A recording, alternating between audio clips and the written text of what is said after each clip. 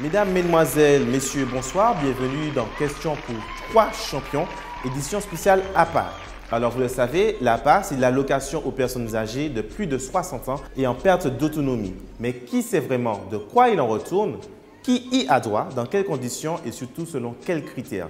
C'est ce que nous verrons ce soir avec nos trois candidates, des championnes qui sauront au mieux nous éclairer. Catherine? Bonjour, je suis Catherine, je viens de Fort-de-France. Je suis assistante sociale et je fais partie de l'équipe médico-sociale. Bienvenue. À vos côtés, nous avons Katerina. Bonjour, je suis Katerina, je viens de Shellshare. Je suis assistante d'accompagnement, je suis chargée de l'efficacité et de l'effectivité de l'aide. Et enfin, Peggy. Bonjour, je m'appelle Peggy, je viens de Ducos. Je suis infirmière au conseil général à l'équipe médico-sociale chargée de l'évaluation à domicile. Bien, passons maintenant aux choses sérieuses avec cette question assez facile de quoi vous mettre en jambe. Je suis parent d'une personne âgée isolée. À qui puis-je m'adresser pour obtenir de l'aide? Katerina Vous avez trois possibilités. Le centre communal d'action sociale de votre lieu de résidence. Sinon, vous pouvez aussi voir l'assistante sociale du secteur du conseil général, mais encore l'assistante sociale de la sécurité sociale. Ils analyseront et vous aideront dans vos démarches. Bonne réponse, Katerina. Il y a donc plusieurs endroits où formuler sa demande.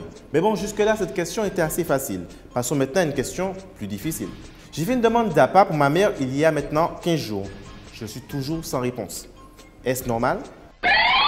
Oui et non. Il faut d'abord adresser sa demande à la présidente du conseil général via le centre communal d'action sociale.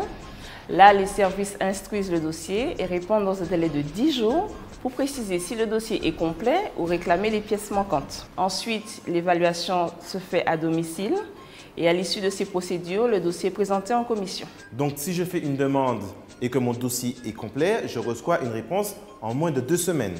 La réponse me va. Question suivante. Ma voisine, qui est âgée de 82 ans, bénéficie de 60 heures d'aide. Pourquoi 60 et pas 30 ou 80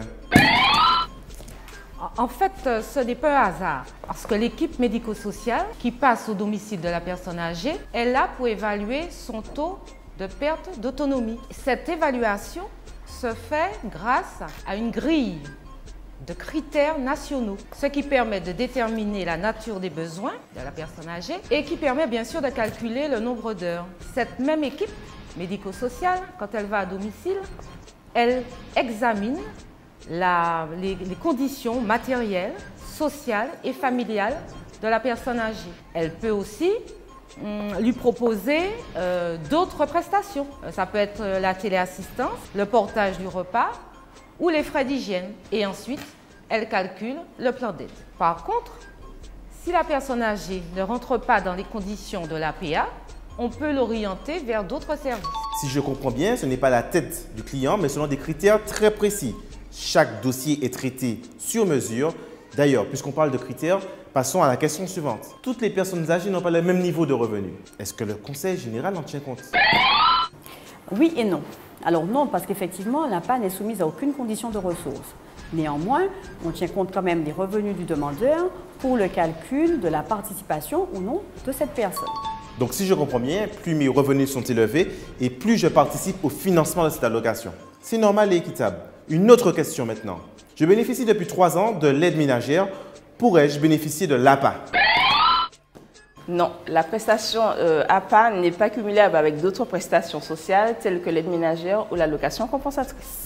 Ah, il y a donc des procédures de recoupement et de contrôle pour mieux utiliser l'argent public et éviter les abus. Eh bien, ça me rassure, moi qui paie mes impôts.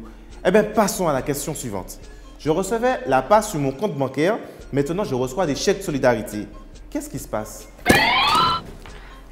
Depuis janvier 2012, le Conseil général a mis un système de paiement plus sécurisé. Il s'agit des chèques solidarité. Il vous permet de régler les frais de l'aide à la personne tout en simplifiant les démarches administratives et en sécurisant l'utilisation des fonds publics.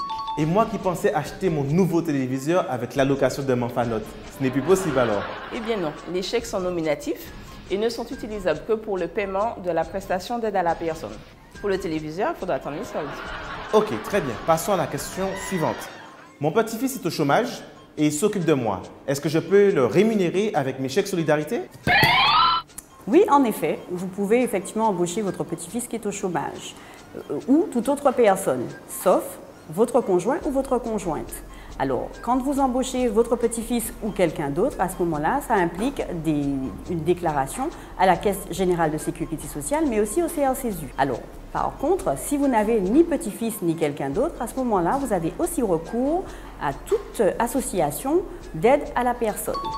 Voilà qui clôt notre émission spéciale APA, une émission exceptionnelle car nous n'avons eu que des gagnants. Tout d'abord, les personnes âgées qui bénéficient grâce à l'APA de prestations de meilleure qualité et mieux adaptées à leurs besoins. En second lieu, nous, les Martiniquais, car nous sommes tous concernés par cette question, et bien entendu, le personnel des services sociaux du Conseil général qui fait un travail formidable au quotidien et comme l'on dit, yola épisode. Merci à tous, passez une bonne soirée et à bientôt.